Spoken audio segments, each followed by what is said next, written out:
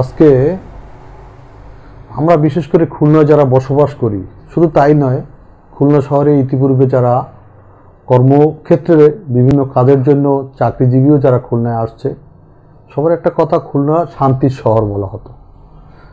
এর বসবাসের জন্য খাওয়া দাওয়ার জন্য টোটাল খুলনার এনভায়রনমেন্ট চাকরিজীবীরাও পছন্দ করে।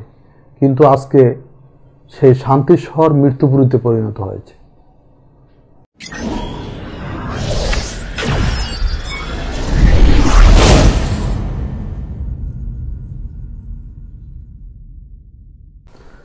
প্রতিদিন সকালবেলা ঘুম থেকে উঠে আজানের ধ্বনির সাথে সাথে আমাদের শুনতে হচ্ছে মৃত্যুর সংবাদ। সকাল থেকে সন্ধ্যা পর্যন্ত বিশেষ করে আমরা যারা সাংবাদিকতা পেশায় জড়িত, একটি জানাজা শেষ করে আস, আসতে না আসতে আরেকটি জানাজা দেখতে হচ্ছে। ছুটতে হচ্ছে হাসপাতালগুলিতে। হাসপাতালের সামনে গেলে যে পরিস্থিতি আমরা দেখি, লাশ বের হচ্ছে স্বজনদের কান্না সেটা যেমন কষ্টদায়ক, তার চেয়ে কঠিন কষ্টদায়ক যখন স্বজনরা করোনায় আক্রান্ত রোগী নিয়ে আসে হাসপাতালের সামনে, ছটপট করছে, কিন্তু ভিতরে কোনো ধারণ ক্ষমতা নাই, সিট নাই, এমনকি বারান্দা পর্যন্ত নাই। প্রতিটি হাসপাতালের সামনে গত দুই দিনে দেখা গেছে, একাধিক অ্যাম্বুলেন্সের ভিতরে অক্সিজেন সংযোগ দেওয়া হয়েছে এবং অক্সিজেনের তারা অ্যাম্বুলেন্স নিয়ে হাসপাতালের বাইরেই অবস্থান করছে। যেটা খুবই কষ্টদায়ক। এখানে সত্য কথা বলতে যে জিনিসটা, খুলনায় কোনো হাসপাতালেই আর আসন নেই, সিট নেই, এমনকি বারান্দাও জায়গা নেই। এখন একটা মানুষ যখন কোথাও যাওয়ার জায়গা না থাকে, তখন সেই রুগীটা নিয়ে যখন আবার বাড়িতে ফিরতে হয়, একরকম স্বজনদের কাছে মনে হয় তার তার পিতা, কারও প্রিয়তমা স্ত্রী, কারও আদরের সন্তান এক আত্মহত্যা করতে যাচ্ছে। সেই রকম পরিস্থিতি টোটা খুলনা জুড়েই এই অবস্থা বিরা- বিরাজ করতেছে। আমাদের সবসময় আতঙ্ক থাকতে হচ্ছে, কোন দিকে থেকে মৃত্যুর সংবাদটি শুনতে হচ্ছে। এমনকি আমাদের আশেপাশে পরিচিত এমন কোনো দিন নেই যে দুই চার পাঁচজন স্বজন প্রিয় মুখ, যাদের যাদের খুলনার প্রেস ক্লাবে গেলে, বাজারে গেলে, হাটে গেলে, চেম্বারে গেলে সব জায়গায় দেখা হইতো, পরিচিত মুখ দু একজন প্রতিদিন হারাচ্ছে। তবে এই অবস্থার জন্য মা- মানুষেরও সচেতন হতে হবে। সাথে সাথে সরকারের যে পরিকল্পিত কাজ করতে হবে, সরকার চেষ্টা করছে, কিন্তু আমরা বলব অপরিকল্পিত। মানে তাদের কর্মকাণ্ড পরিকল্পিত না হওয়ার কারণেই ভোগান্তিটা বেশি হচ্ছে। এই পরিকল্পিত কর্মকাণ্ড চালালে, পরিকল্পিতভাবে মানুষকে সেবা করলে অনেকটা উপকৃত হবে।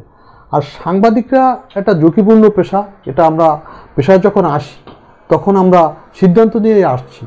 যে জীবন বাজি রেখেই আমরা যখন কোনো সন্ত্রাসীদের বিরুদ্ধে নিউজ করি, আমরা তখন তার রোষানলে পড়ি। আজকে যখন মানব কল্যাণে, মানবতার সেবায় আমাদের এক হাসপাতাল থেকে আর এক হাসপাতালে ছুটে চলতে হচ্ছে, কিন্তু জীবনের ঝুঁকি নিয়ে সব পেশায় ঝুঁকিপাতা আছে, কিন্তু সাংবাদিকদের পেশায় কোনো ঝুঁকিপাতা নাই। সাংবাদিকদের পুরস্কারের চেয়ে তিরস্কারই বেশি, এটা মেনে নিয়েই আমরা এই পেশায় আসছি। তারপরেও আজকে সাংবাদিকদের হ্যাঁ করোনাকালীন সময় অনেককে বলে যে সাংবাদিকদেরও সরকার কিছু সহযোগিতা দিচ্ছে। দুঃখজনক হলেও সত্য, সেই সহযোগিতার ক্ষেত্রেও আদর্শগত চিন্তা করা হয়। কোন সাংবাদিক কত পরিশ্রমী, কোন সাংবাদিক কতটা ঝুঁকিপূর্ণ পেশায় নিজেকে নিয়োজিত, কোন সাংবাদিক স্বাস্থ্যবিদ করে, এটা বিবেচনার বিষয় না। কোন সাংবাদিক সরকারের সুনাম গায়, কোন সাংবাদিক সরকারের পক্ষে কেচ্ছা কাহিনী গায়, তাকেই সহযোগিতা করা হয়। এই বিমাতা সুলভ আচরণের কারণে মনোবল হারিয়ে যাচ্ছে পেশাদার সাংবাদিকরা।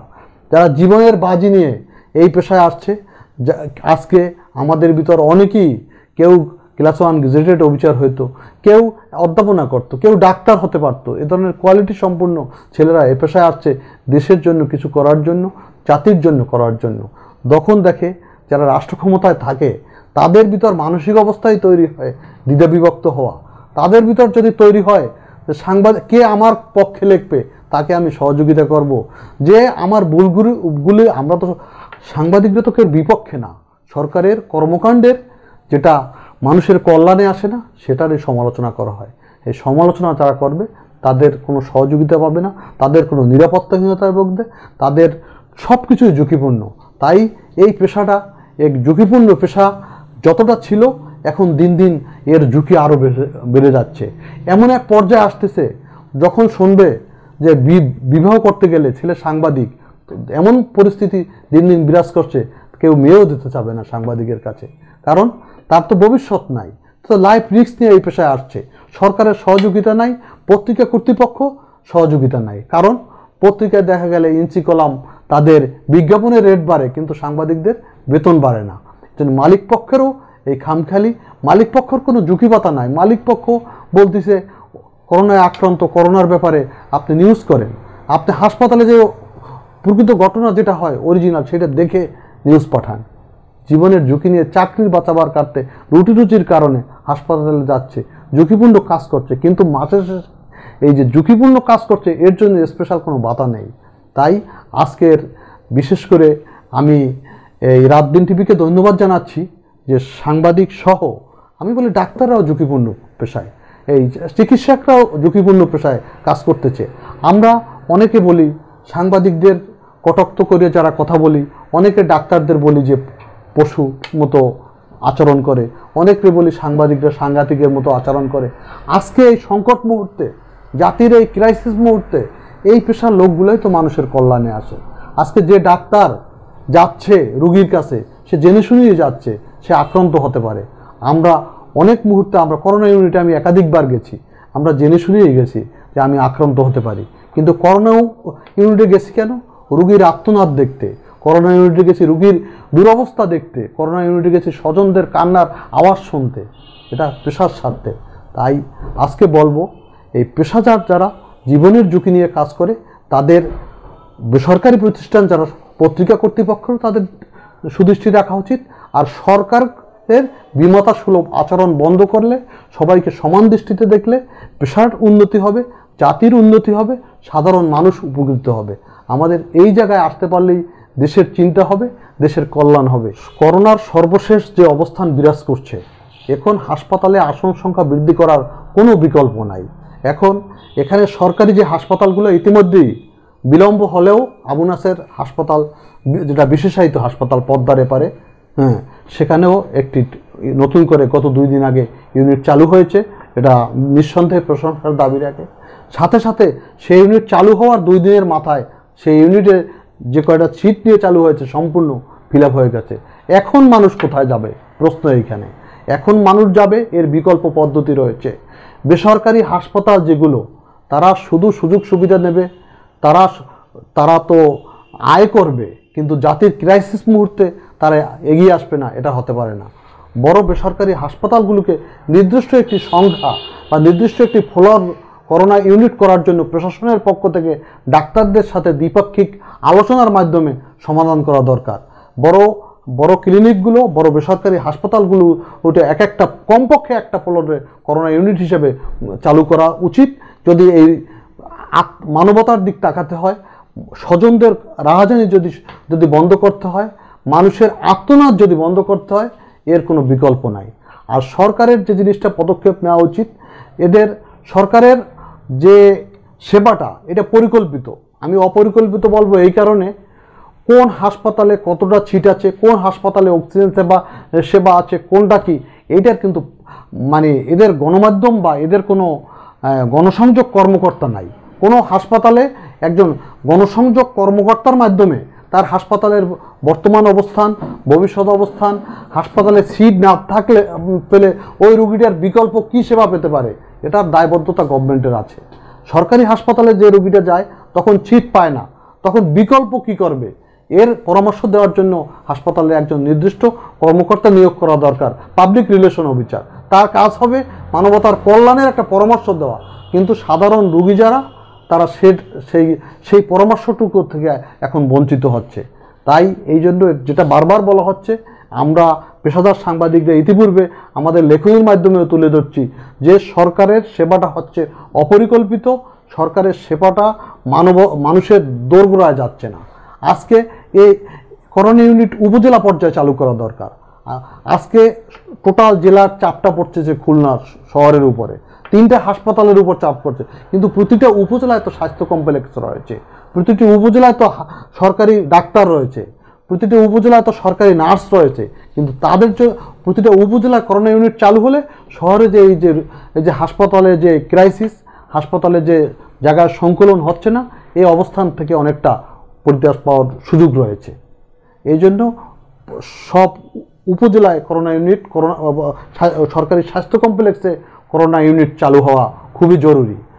আর বিশেষ করে সাংবাদিকদের জন্য যে নিরাপত্তার জন্য, তাদের কোনো সরঞ্জাম বা তাদের কোনো সিকিউরিটির জন্য যে পোশাক বা তাদের ব্যবহার্য কিন্তু এটা সরকারি পক্ষ থেকে কোনো কিছুই ব্যবস্থা করা হয় না। আমি শুধু সরকারকে দায়ী করব না, যে সব পত্রিকার মালিক কর্তৃপক্ষ তারা দায়িত্ব পালনের অর্ডার দেয়, কিন্তু এরা নিরাপত্তার জন্য কোনো ব্যবস্থা করতেছে না। এই জন্য সরকারের উচিত যেসব পত্রিকার পত্রিকায় বিজ্ঞাপনের রেট বেশি, তাদেরকে তদারকি করা উচিত। তোমাদের তো বিজ্ঞাপন দিচ্ছি, তোমাদের রেট দিচ্ছি, তোমাদের আয় দিচ্ছি। তোমার স্টাফদের তুমি কি দিচ্ছ? এটাও দেখার, এ- ব্যাপারেও সরকার ওই পত্রিকা কর্তৃপক্ষের উপর নজ- নজরদারি দেওয়া উচিত। সাথে সাথে সরকারেরও সাংবাদিকদের ডাক্তার, সাংবাদিক এবং বিশেষ করে পুলিশ এবং যারা মাঠ পর্যায়ে কাজ করে, সবার জন্য ঝুঁকিভাতা চালু করা উচিত। সেনাবাহিনীর ভূমিকা আমি বলব নিঃসন্দেহে ভালো। কারণ তারা নামার পরে আমা, আমরা মাঠে ময়দানে যারা কাজ করি, দেখি সাধারণ মানুষের জন্য সাথে তাদের আচরণটা সন্তোষজনক। আর বিশেষ করে আইনশৃঙ্খলা বাহিনীর কোনো কোনো ক্ষেত্রে কারও কারও আচরণগতভাবে জনগণের প্রশ্নবিদ্ধ হয়েছে ইতিমধ্যেই। একটি রিক্সা আলা যখন পেটের অভাবে রিক্সা নিয়ে মাঠে নামে এটা জানা উচিত যে রিক্সাটা করোনার অনেকটাই গভর্নমেন্ট এবং প্রশাসন এটাকে হালকা দৃষ্টিতে দেখছে। কিন্তু আইনশৃঙ্খলা বাহিনীর কিছু লোক এটাকে কঠোর হস্তে দমন করতে যে যারা না খাওয়া মানুষ, যার পরিবার পরিজন নিয়ে মানবতার জীবনযাপন করছে, তাদের উপরও দুঃখজনক আচরণ করছে। এটা নিঃসন্দেহে সেনাবাহিনী সেটা করছে না, তারা অনেকটাই নমনীয়ভাবে তাদের সাথে আচরণ করছে। তাই যেসব আইনশৃঙ্খলা বাহিনীর ভিতর যারা এ ধরনের আচরণ করছে, তাদেরকে এ থেকে বিরত থাকা উচিত। তাদের মানবতার কল্যাণের কথা চিন্তা করা উচিত যে মানুষ কীভাবে আজকে পাঁচ দিন একটা পরিবার যদি রিক্সা চালাতে না পারে, অটো চালাতে না পারে, তার পরিবার কীভাবে বাঁচবে?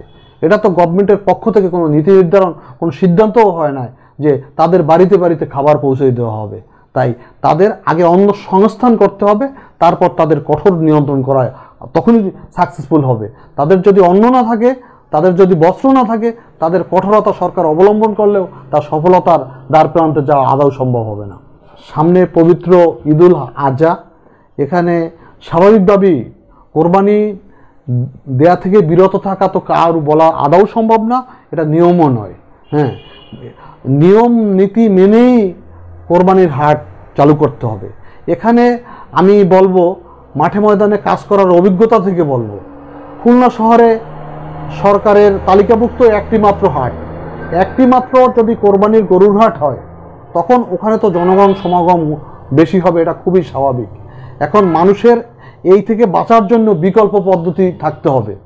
খুলনা শহরে কমপক্ষে দশটি গরুর হাট করতে হবে।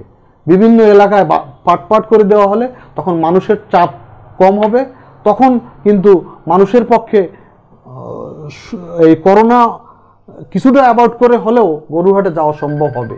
কিন্তু একটি যখন গরুরহাট হবে, ওইখানে মানুষের চাপ হবে, তখন লকডাউন বলুন আর শাটডাউন বলুন, কোনোটা কাজ হবে না। সব কিছুই ব্রেক হয়ে যাবে, সরকার যদি এই সিদ্ধান্ত অটল থাকে। সরকারের সিদ্ধান্ত নিতে হবে, বিশেষ করে বড় ছিটিতে কমপক্ষে দশটি হাটের সিদ্ধান্ত নিতে হবে। মানুষের চাপ কমবে, সুবিধা হবে। পরিশেষে আজকে যারা ঝুঁকিপূর্ণ পেশায় সাংবাদিকরা সারা দেশে, আজকে আমি বলব টেকনাফ থেকে তেঁতুলিয়া পর্যন্ত, গ্রাম থেকে গঞ্জে, উপজেলা থেকে শুরু করে যারা ঝুঁকিপূর্ণ পেশায় এই আছেন, সবাইকে নিজেকে রক্ষা করে, ঝুঁকিপূর্ণ মধ্যে নিজেকে বাঁচিয়ে দেশ ও জাতির পক্ষে কাজ করতে হবে। মানুষের দুর্দশাগ্রস্ত মানুষের যে করুণ আত্মী, করুণ আত্মনাদ এটা লেখনীর মাধ্যমে তুলে ধরতে হবে। তখন জাতি উপকৃত হবে, সরকারও তাদের ক্রাইসিস সরকারও তাদের ভুলগুলো বুঝতে পারবে। ধন্যবাদ আজকের এই যে মানে মানুষের কাছে আমাদের কথাগুলো পৌঁছাওয়ার জন্য, মানুষকে যে সচেতন করার সচেতনতা সৃষ্টি করার জন্য যে পরিকল্পনা নেওয়া হয়েছে, এই জন্য একদিন টেলিভিশনের কর্তৃপক্ষকে ধন্যবাদ জানাচ্ছি এবং তাদের এই কর্মকাণ্ড অব্যাহত থাক। মানবতার কল্যাণে তাদের যে যে কাজ এগিয়ে যাচ্ছে, এটা আরও উত্তর উত্তর বৃদ্ধি পাবে মানবতার কল্যাণেই এই টিভির কর্মকাণ্ড পরিচালিত হবে।